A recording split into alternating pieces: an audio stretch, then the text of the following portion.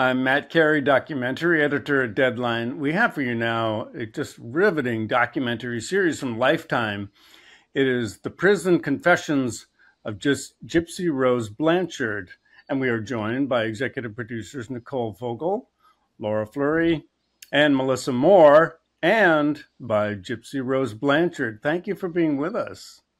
This case of Gypsy Rose Blanchard, her mother Dee Dee Blanchard, is really just gripped the nation for, for many years now. A lot of you have heard about it or seen the series, which uh, comes down to the incredible abuse that Gypsy Rose Blanchard suffered as a child at the hands of her mother. This was a case of Munchausen syndrome by proxy.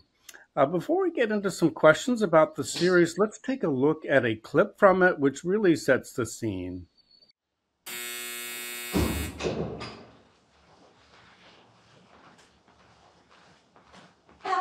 grab the, the mic. Do you know you know how to Yes. All right. Just sit back. How are you? Good, good. How are you feeling today? Nervous. Okay. I'm ready. I remember my mom said happy endings are not just in fairy tales, they're real. My mother controlled everything I did. I was forced to use a wheelchair. She started telling people that I had cancer. But none of it was true. There was also a lot of emotional and physical abuse. I started to feel like it was either her or me. Dee Dee Blanchard's death was violent. And that's when I hear her calling my name. Gypsy, help me. Her daughter, Gypsy Blanchard, and her boyfriend are now jailed on first degree murder. I played a part in asking him to commit the murder. That is why I'm in prison. I've had six years to feel those emotions. And there's things that I've kept so private. The reason why I want to talk about it now is because I want to be free of all these disturbing secrets. The first time I tried to run away, she chained me to the bed.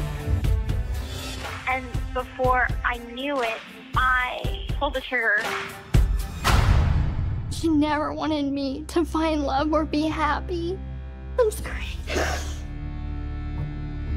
but I am engaged. Today is the day before my parole hearing, and I will finally share my story the way that it should be shared.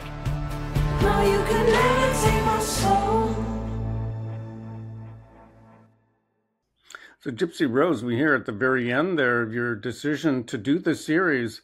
I guess I'm wondering now, are, are you happy that you did it? The six part series, which delves so much into your life, what happened to you as a child, and um, uh, your life since release? I'm very happy with how the documentary turned out. Um, I did watch it and I was honestly learning revelations through watching it. Um, and I was starting to honestly see myself in a different light. So it was also eye opening to see myself in that kind of vulnerable space that I was in. Um, I'm happy with the way that it came across. I just feel like this was the way that my story should have been told all along um, because I know that my story has been told through different other outlets and I feel like there was always margin for error. So this one um, definitely really painted the most truest light to what my life was and what my life is hmm Nicole, can you give us a sense of how big a, a hit this has been for Lifetime? It really created a sensation when it aired in January. Yeah, it it, it clearly we greenlight it, thinking it would be a hit. It definitely surpassed even our wildest uh, expectations, but it was a three night event. It was number one uh, on cable for the nights that it aired. It's been our number one most downloaded uh, property ever across all of A&E networks. It's been the most uh, highest social performing uh, property and buzz for us across A&E networks. So it really has been a hit, and I just think that that's a testament to Gypsy, her openness, uh, the fact that she has shared her story in different ways throughout her life, uh, but now has evolved into a grown woman who was ready to tell her story, you know, from a different perspective than she had ever maybe even been able to uh, process or share before.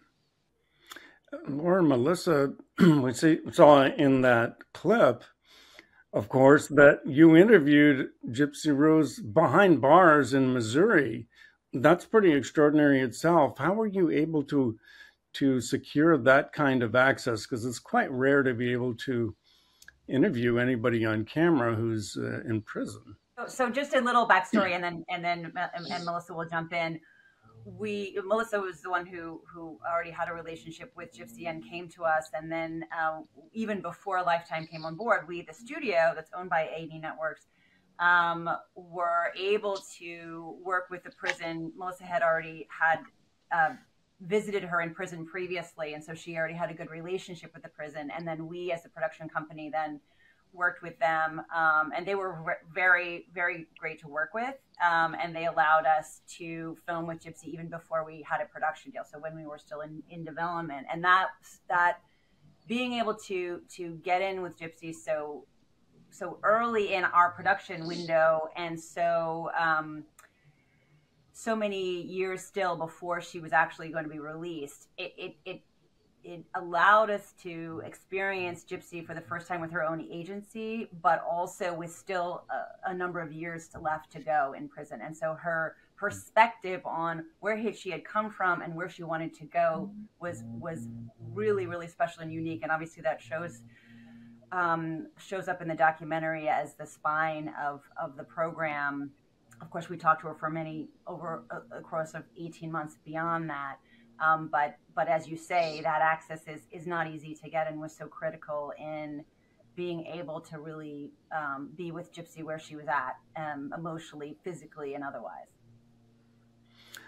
Melissa and, and Gypsy, maybe I could ask you, uh, Gypsy, you referred to the revelations for you. Melissa, what were the revelations that, that you see as coming out of this series? Because as, as Gypsy said, there was a Hulu, a, you know, sort of adapted series about it. There was an HBO documentary. But here you're really getting into a, a greater level of depth. And that comes with time. So Gypsy and I have had a friendship for over seven years. And this uh, Confessions of Gypsy Rose was in basically pre production, I would say, over the course of three years. Gypsy and I did phone recordings every Tuesday every week, I would say, Gypsy. It was, it was yes, very. Every Tuesday. yeah. Tuesdays with Gypsy, and I stayed on top of her life. I think when I first met Gypsy, I had come um, to ask to see if she would do an interview, and she declined. And I came to the prison, and she declined. But we had a fabulous conversation. We started talking about her life as a young woman in prison, and she said something that I'll never forget, which was, "I feel more free in prison than I've ever felt my entire life." And I thought, wow Hmm. there is something more to her story. This is a woman coming of age in prison. She's learning from other inmates how to be a woman. She didn't get that training from her own mother. And so we we stroke you know we stroke up this friendship and we talked weekly and that intimacy that we had that bond i think transferred onto film because she trusted me and one thing i also heard from her is that everybody took her story and she didn't get the platform to tell her story. And so mm-hmm. Partnering up with Laura Fleury, Laura Fleury was my executive producer for Monster in My Family years ago for Element. And I have a trust and relationship with Laura and of course with the A&E network. And so it felt natural to call Laura and say, Hey, I think there's something really special here. And I'm thankful to Nicole at Lifetime for taking the time because a lot of networks won't take that amount of time to to do a documentary. Mm. And Gypsy, what has it meant to you to see so many of your family members in the series also hear from law enforcement? Uh, you know, there's many things I'm sure you just couldn't be aware of um, while being behind bars. You know, it was a very eye opening experience because I got to see um, and hear from other people's perspectives on what they were going through at the time that you know my crime happened and and I was in prison and how it affected them because being behind stone walls I didn't get a chance to have a very um, interpersonal connection with all these people. Um, a lot of them as soon as I got arrested I was cut off from them. Um, so hearing their perspectives on you know their personal experience with this shared experience that we all went through together and see where they were at with it was very eye opening for me. Um, and especially, it was very interesting to see what some of the doctors had to say as well. Uh, and indeed, you know, your your pediatrician who didn't have access to these records that would have really been eye opening for him. All the medical treatment you were subjected to that was completely unnecessary, as we see in the series, including a a feeding tube. I mean, and medications. It's just uh, really mind boggling to imagine. Nicole, I think it's a just stunning. Gypsy Rose as a she has a star quality, which I think is is a tremendous asset when you are making a piece of entertainment. It occurs to me like, are you thinking about a follow up season? Uh, uh, yeah, we have we have announced and we are in production on uh, a follow-up season. We were with gypsy from the moment she was released um, from from prison in uh, the the wee hours of the morning on what December 28th I believe it was? Yes, so right, yes. right during the holidays our crew was there. Um, and we've we've been following her and making a true follow doc this is this is not a reality show this is gypsy living her life and we are there documenting it um, and yeah it's it's it's been it's been a journey it'll it'll uh it'll air in in june and it is called uh gypsy rose life after lockup Hmm. Oh, okay. You're well underway with that. And Melissa and Laura, um, there are a lot of uh, recreations, or a fair number of recreations in the series, including, I guess, a young actress uh, playing the young Gypsy Rose, eh, which was almost eerie because whoever you know you found for that looked exactly like the young Gypsy Rose. I'm just wondering about sort of casting that and and making those recreations that allow the viewer to really experience all that she went through.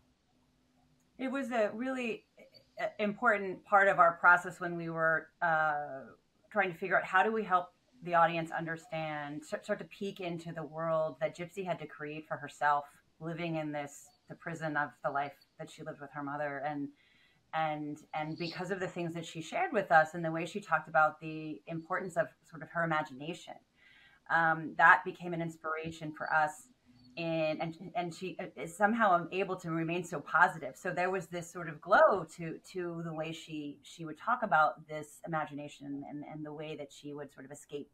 Um, and our our showrunner Carolyn Day really had a, a, a, great vision for how do we bring this to life. So there was a lot of discussion about how to do this in a way that was evocative, um, uh, but very um, respectful and um, you know recreations can can be tricky right? So anyway the, the, it was a i think a beautiful way of evoking this idea of this world that gypsy had created for herself while also being very anchored in the reality of what gypsy's experiences were.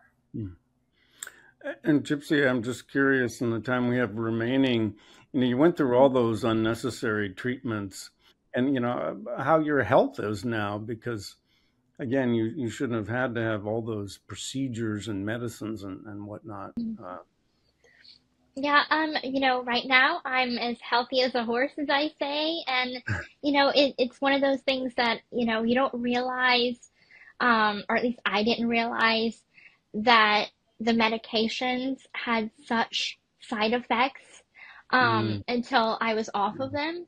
And now I, I can recollect and I'm like, no, I haven't had an ear infection since I've been away from those medications. So constantly things like that are coming up where I realize that I am healthy and I'm I'm happy that I'm healthy. Hmm. Well, I know really all of America, if I could be so bold as to speak for America, it feels likewise that you have your freedom and after such an unbelievable ordeal that you've been through. Uh, thank you so much for joining us. The subject of the series, Gypsy Rose Blanchard, it is Lifetime's series, The Prison Confessions of Gypsy Rose Blanchard. We've been joined by Nicole Vogel, executive producer, and executive producers Laura Fleury and Melissa Moore. Thank you so much for being with us.